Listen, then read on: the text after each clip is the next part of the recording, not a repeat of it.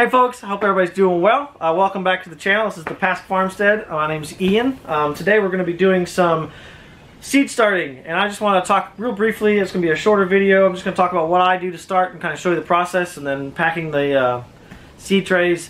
Uh, and then I'll do a little bit of what I'm planting. I'm not going to show everything um, because there's a million videos on that out there, but I just want to throw this out there. I have a really detailed video from last year that you can go back and watch, but this one's going to be a little bit, little bit more laid back.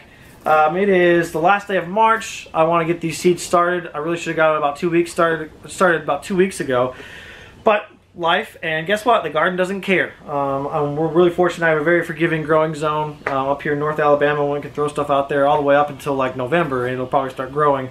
Um, so we've got plenty of time. I'm not worried about that. I'm going to do some things differently this year. Like I'm going to do some, some succession planting. So I'm not going to do the whole garden in one whack like I did last year. Worked fine. Um, but I want to be able to kind of have a harvest that lasts over, you know, two, three weeks, maybe even a month if I can time things correctly. But that's not what we're doing today. Today all we're doing is mixing some dirt. Um, so if you watched my video from last year, you know that I love this stuff. I talked a lot about it last year. But go to Lowe's or go to your local feed store. This is where I got this from. And get you some Black Kow. Um, it's manure and compost. It's low odor. Um, it's all natural, so you don't have to worry about them putting a bunch of extra random stuff in there. Um, and then I'm also this year instead of using the Miracle-Gro, I was not impressed with that. Uh, last year we used the Miracle-Gro vegetable and garden. I think it worked fine. I just wasn't super impressed with it. It was it was really wood chippy, which is not not a problem.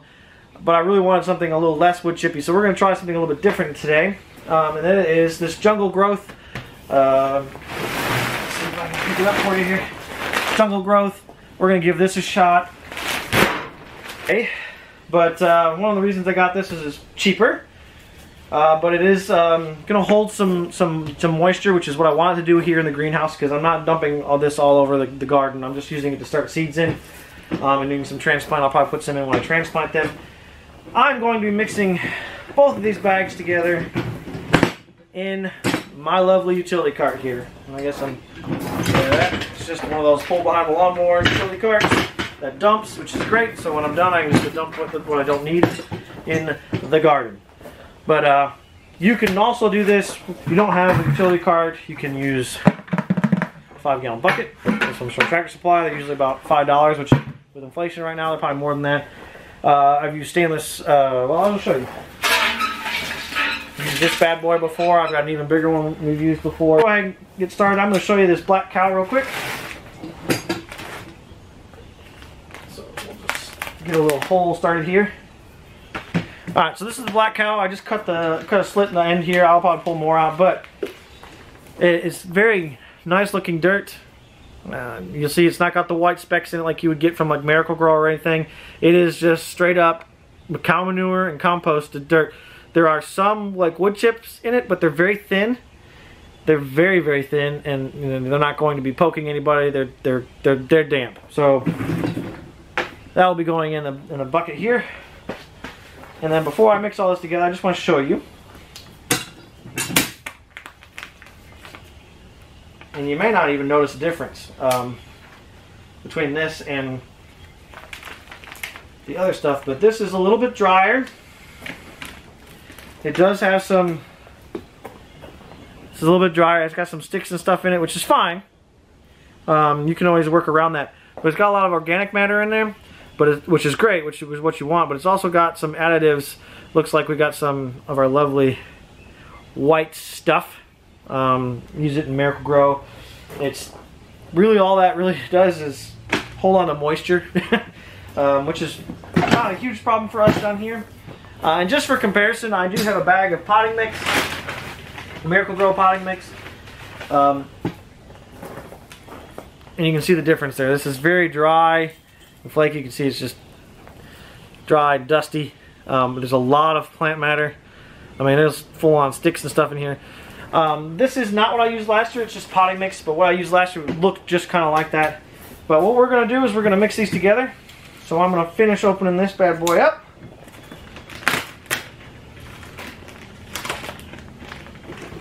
I don't have a specific ratio. I guess if you really wanted to, this is one cubic foot to two cubic feet. Um, I probably won't put all that in there. I like the Black Kow to start with. I just don't want to use it straight up. I do want to have some plant matter and things in there as well. I like the Black Kow a lot because I'm, I've never found a rock in there. Not saying it won't happen to you, but I've never had any, or if that has happened, I've just never noticed. So we're just going to make us a pile of this.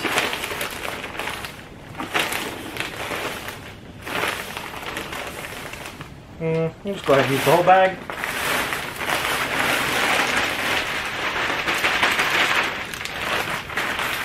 I could stop right here and just use this. This is good dirt for that.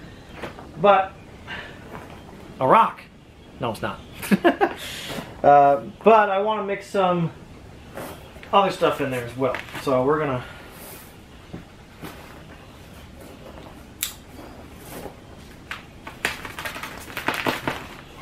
this guy open. Move this down a little bit more.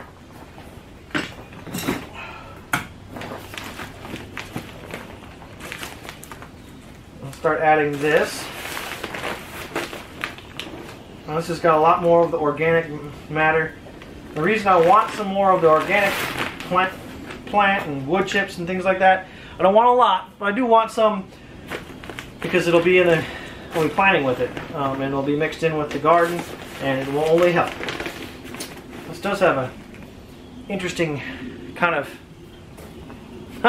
not Vicks Vapor Rub smell, but it, it, just for some reason reminds me of that. Um, so we're, we're not going to put a ton of this in there. I think I did two to one. I don't think I'm going to do that much.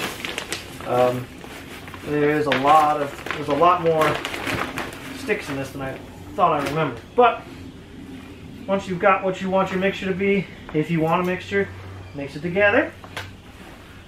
If you don't know where to err, err on the side of Black Kow. Um, your compost. It's not going to hurt um, unless you're using like raw compost. But the Black Kow's already been kind of filtered and screened and all that, so we get just a really good mixture of what we're going to want. And let me show you a real quick tip. Mixed a little water, not a lot. Especially since this is most of this is wet already. You don't want to go bonkers with it. Because you don't want mud.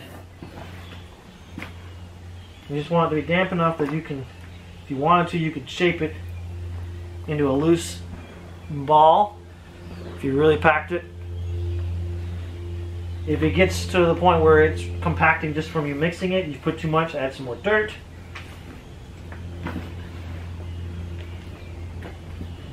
This is pretty good. I didn't have to add much. It looks really loose, but it is something, something that you can pack. Excited. All right. So after you've done that,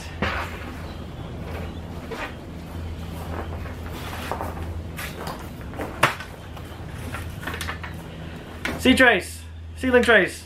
You buy them from, you buy them at the store, just use them.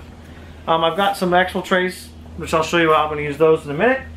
But uh, coming on down here, let me get you guys a little bit closer so you can see what's going on. Alright, so we've got our soil mixed.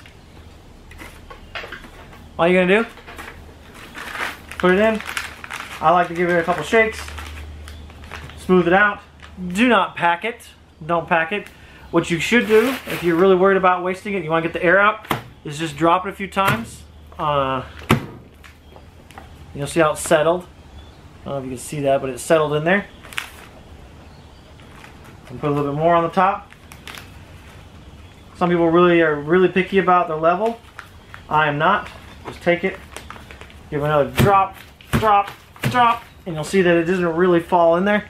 And normally this would be good enough. You go put your seeds in there. Done, right? Put the seeds that you want in there. Just have to plant them at the right depth. Um, the smaller the seed, the higher they're planted. So the bigger the seed, the lower you want, the farther down you want. Most of the time. But, just for example, I, so I dump this out and you can kind of see each of these. This is a good consistency because I don't want it to be forever stuck together because I want the, the plant to be able to get the roots in there and grow. So if I've really packed it in and when you water, it's going to do the same thing. So you got to be really careful when you water these uh, but it's not really strong. Like I can just take my finger and disintegrate, which is what we want. Uh, you don't want to pack it so tight that when it comes out, uh, you're getting a whole bunch of other stuff in there. Um, so let's try this. Okay, drop dirt in, smooth it out. Okay, check to see if you've got any clumps that you don't want in there or really any foreign material. You never know. Okay, big sticks or whatever. One, two, three. It's settled. I'm gonna put some more on top. Smooth it out. This one's good to go. With the next one, do the same thing. Drop the dirt in, give it a shake. One, two, three. A little bit more on top, pulling out some of the larger chunks. That one's good to go. We seeing a pattern here yet, folks? It's really simple. There's no reason why you shouldn't. Give her a shake. One, two, three. Just settle a little bit. If you're to skip a set, a step, skip the shaking and packing step. But wait, you say, what if I bought seed trays like this instead of stolen ones from the leftovers, not stolen. Some of the ones that I'm using that I, that I bought plants and I want to start my own seeds. Well, there's nothing wrong with that. As you can see here, crookneck squash, bought these last year. This tray that had a few on there, I asked if I could have the tray even though there was like three plants on there. I'm like, yeah, that's fine, whatever. They don't want to keep them. Boom, right? Perfect size to start some of your bigger plants like tomatoes and peppers in if you need to let them go a little bit longer. We'll do those in a minute. That's a little bit more time consuming because they're individual pots. Or, these I bought last year, loved them. I started everything in them. They got holes in the bottom. You gotta make sure those are clear because you want to be able to drain. But you're basically gonna do the exact same thing. Scoop, drop, smear. Okay, you just want to cover it. You don't want to pack it. Okay, what a lot of people will end up doing is doing this. And look, I got all that dirt in there. But when you go to plant on that, it's not going to work. So, you just want to run your hand across the top, make sure they all get about the same. Some of these bigger chips, they don't, they're fine, they just don't fit in these. So you want to make sure they're out of the way. Add a little bit there, looks pretty good to me. Okay, and then you'll see people like, oh, then you just gotta shake it. Well, look what happens on these end ones. I don't know if you can see that, but they're empty because I shook them and they're shaking them around all over the place. So, this is what I like to do. Lay my tray out where I want it. On one end and just kind of run my hand down it. I'm doing two rows at a time. I'm not, I'm starting at the top and working my way down. And I don't, because I, what I don't want is I don't want it to be where I can't see the plastic. So then I'll run my hand across the top and I'll look and see. We got a couple that need a little bit more. I'm not packing this in. I'm just running my hand across the top to smooth it out because I want to be able to see individual cells. So I can still see the individual cells here, which is what I want um, because it makes it a lot easier when you go to plant. So get this one out of the way.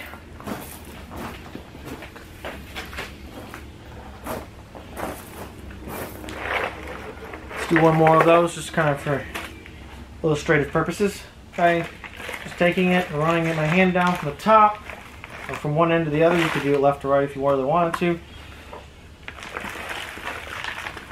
Run my hand across, making sure that everything's going to be filled.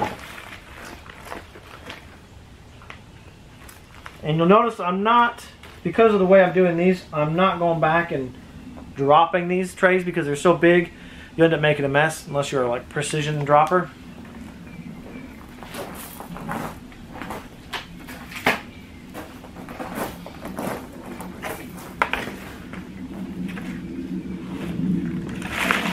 What are we going on, like three minutes now? Imagine how much more I get done if I wasn't talking to you guys.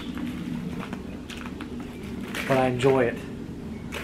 Um, if you're still watching, I appreciate you watching. Uh, we're going to get this one filled in.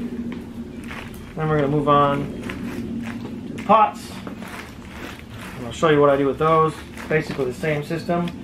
But if you're like me and you just want to know, you want to see it, I'll show you.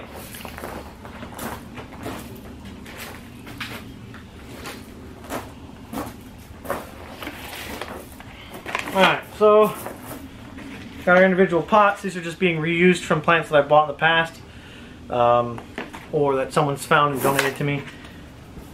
Rookie mistake with these, scooping and pushing. Don't want to do that. Don't want to scoop and push because then you get this nice compact, well that fell apart, oh, but you usually get, you, you're just cramming it in there. And you'll see people do this. I've seen people do this. I've done this. If you've done it before and wondered why your plants aren't growing as strong, because I've just basically taken all the air pockets out, which is good. But on the other hand, instead of having air pockets, I got nowhere for my roots to grow. Because remember, these are gentle little plants. They're not going to be super aggressive. So, I'll set this tray down within reach. And then I'll just fill it, give it a bit of a shake, and drop it in the tray. One, two, give it a shake, drop it. So for most of these, I'm just, these are just old Bonnie plant um, holders, or cups, or whatever you want to call them. Two cup, two handfuls usually does it enough. You want to have it kind of full, it's not overflowing the top. You can kind of see there's maybe a half inch, quarter inch around. If you don't have these, that's fine. You can buy them. Um, but again, you can, I guess I should demonstrate this. So one, two, a little bit. So you, it looks, looks, looks good, right? But this is also the reason why we want to tap them, the other, other ones, because now I've compacted that down to that. But I'm not doing that for every single one of these. The reason for that is I'm going to do it as a group here in just a minute. So I'll just keep filling. One, two, shake. It's a little too much. Shake. Let me finish filling these and I'll get right back with you.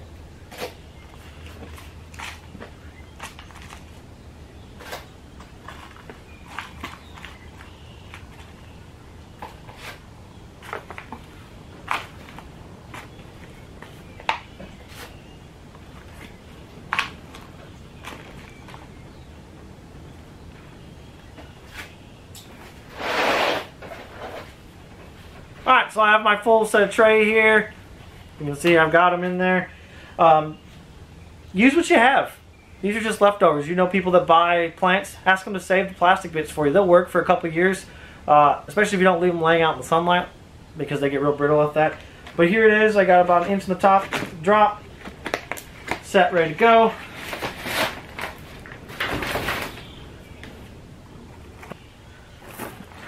Alright, so just just a quick recap. Your dirt. Buy some Black Kow or some organic compost or something along those lines. Mix it with something that is made for raised beds or container gardens because what are you doing here? You're actually going to be using these containers to garden. Um, and I know there's going to be a lot of controversy over that. Just garden. Just go out and garden. You'll thank me for it if you've not ever done it before. But get out there, do some gardening, put your dirt. You want to put it in whatever containers you got. I, well, I don't have the I don't have the money to buy plastic seed starting trays. And I don't have the money. I've never bought any gardening stuff before. I'm not going to go out and do all this. Guys, it's easy. Buy some solo, paper solo cups or even the plastic solo cups. You can reuse them and reuse them until they break. There's nothing wrong with that. And it's a great, in fact, it's a great way to start them. Um, you're just basically swapping out the plastic seed cups for what you can find at the dollar store. You can buy your seeds at the dollar store. You can buy the dirt at the dollar store. Um, it shouldn't be hard to grow your own food. At least start supplementing some of what you, you do at home. Um, the biggest reason why I do this stress relief. Great. But anybody can do this garden stuff. You can do it in containers. I know you're looking at it, I'm standing in the greenhouse, you're like, well, I don't have that. You don't need it. I'm standing here at the end of March. It's about to be 80 degrees um, for the next six months here in Alabama. So you can do it. Just figure some things out. If you need help, send me a message on uh, YouTube or Instagram. You can find us find us there on Pask underscore Farmstead. Uh, and you can check us out there. Hopefully the things will start growing and we'll be getting some motion going and getting the farm started up and really digging into that this year. Um, those are some of the goals at least. But I really appreciate it. Like and subscribe and share like I said. And um, get out there and grow something.